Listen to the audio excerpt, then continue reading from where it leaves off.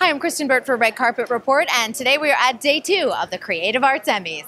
Congratulations on the nomination. Thank you very much. Thank you. Yes. Talk about some of the challenges for this season. I know every season brings its own challenges.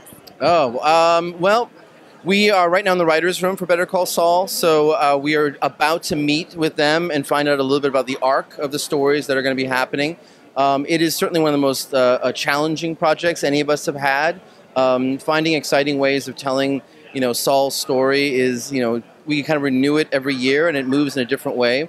Uh, we're also moving closer to the Breaking Bad time period, so in a strange way, we're navigating from one world into another and trying to, like a jazz band, work our way back to the, the primary root, you know, key that we were all in. So it's kind of an exciting little adventure, and we're all working together to figure out what that pathway is going to be. That's going to be really interesting to, to make your way back to a project that already exists and you've already worked on, and then to bring it uh, in the new aspect of it. So I've got to imagine as an artist, that is fascinating. Well, it's really fun because when we started out Better Call Saul, one of the key um, sort of edicts that we were given was to not do Breaking Bad 2.0. We were going to start from scratch.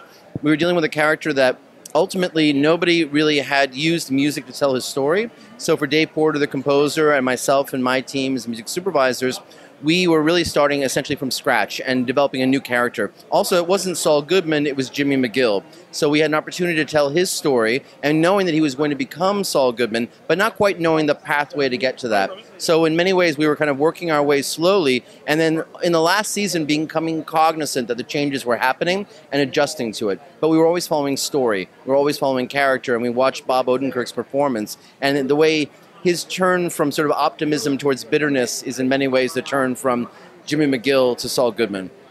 It's so cool though because it's a little bit of strategy involved. It's like solving a puzzle, um, and it's amazing. You're probably utilizing a different part of your brain sometimes for that than just the creativity of it.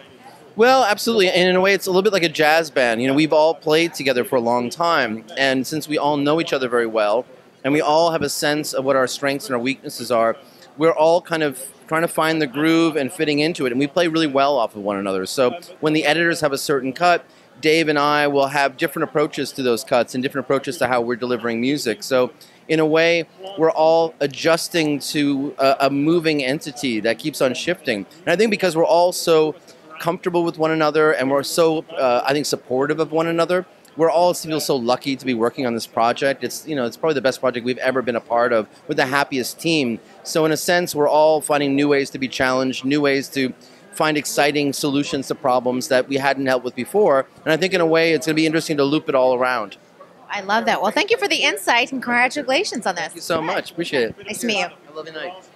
Thanks for watching. Be sure to like this video, subscribe to our channel, and in the comments below, let us know what your favorite TV moment was this year.